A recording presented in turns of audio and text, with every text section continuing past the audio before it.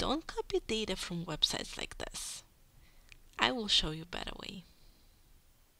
Copy link, go to Excel, data, from web, paste the link, OK, choose table, hit load, and you're done. Follow for more.